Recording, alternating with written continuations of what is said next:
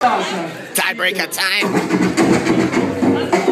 Let's go, Mikey, let's go!